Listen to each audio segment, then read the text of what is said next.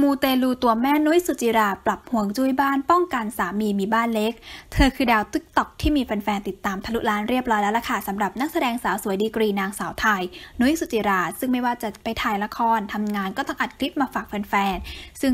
แน่นอนว่าถ้าวันไหนไม่มีคลิปของเธอออกมา เธอยอมรับว่ารู้สึกกระวนกระวายเป็นอย่างมากเลยล่ะค่ะ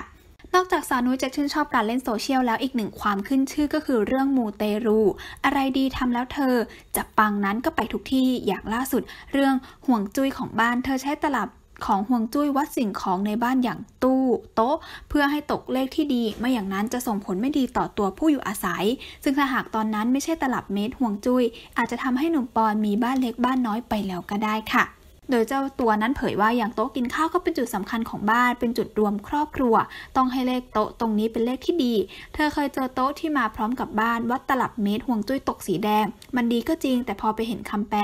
บอกว่าจะได้ลูกชาย หมายความว่าถ้าไม่ต้องการมีลูกแล้วทำหมันแล้ว สามีจะต้องไปมีเมียอีกคนนึงเพื่อที่จะมีลูก ซึ่งเคยมีบ้านบ้านหนึ่งเป็นแบบนี้มาแล้ว นี่นะคะก็ถือว่าเป็นความเชื่อส่วนบุคคลค่ะ